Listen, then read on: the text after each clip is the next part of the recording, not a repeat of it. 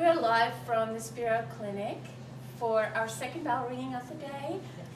Robyn, you're done. Yes. You're going home. Can't wait to get to my bed.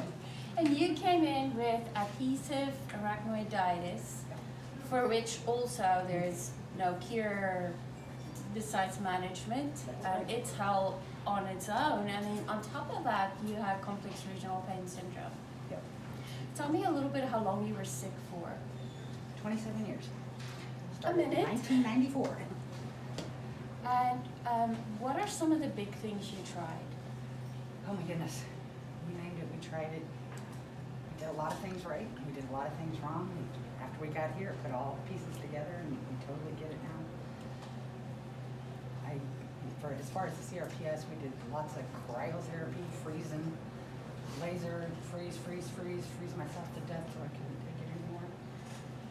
Uh, everything. I can't even think what else. I did so many different injections and this treatment and that treatment. I can't even remember the names of some of them. Um, a lot of them are some of the newest ones out that people swear by, and all it did is make me go backwards. And I talked to Anna, and she's like, "That's actually what's making you worse. That's not helping you."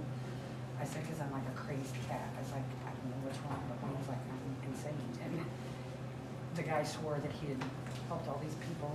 I'd gone through so many different things. It was. So. Uh, your husband's filming where I would get him up here because he's been by your side. Talk about Romeo and Juliet. And you were not very nice to him some days. I wasn't nice to him most days. no, I wouldn't say that, but you you came off of frighteningly high levels of pain medications. Yes. Um, that could literally drop an elephant. Yes. Uh, and And so it you, did drop the elephant. so you had to go through that withdrawal as well. That was the worst part. That was worse than CRPS. That was worse than adhesive. That was worse than anything. That was the worst part of all of it. I want to get your therapist up here. Caleb, it's a big day for you, my friend. Yeah. I know you guys fought sometimes in there. He's got big shoulders. Yeah, yeah, we did. I guess I have to talk again, huh? Okay, this your one's, favorite thing. yeah. Okay, so Robyn was challenging in another way. Um, I think that of all the people I've worked with here, I had to call on skills I learned uh, through a career in the military with Robyn. there were times where Robyn would call me everything but a human being. And she would come in and tell me she hated me and she didn't want to work today. We're going to take it easy today. And you know, with some patients, I tell you, yeah, maybe we'll take it a little easy today, and, and, then and then we don't. But with Robyn, I just look her dead in the face and say, no, we ain't knew it taking it easy coming. today. You're you're going to get to work. I knew it was coming. And I would just remind her, you know, hey, don't quit.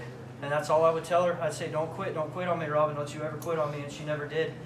Um, talking about the withdrawals, that was rough. Um, seeing her like that was really painful for me because it went from like this, she was at this like pretend high, feeling great, and then she started to get off of her meds and, and she went straight back to just, I hate you and I hate this and this isn't working and and, and, and you're never gonna fix me and, and F you and, and I hate everybody and I'm just gonna go home and I'm gonna and then and, and then she came in one day and she's just like my brain itches.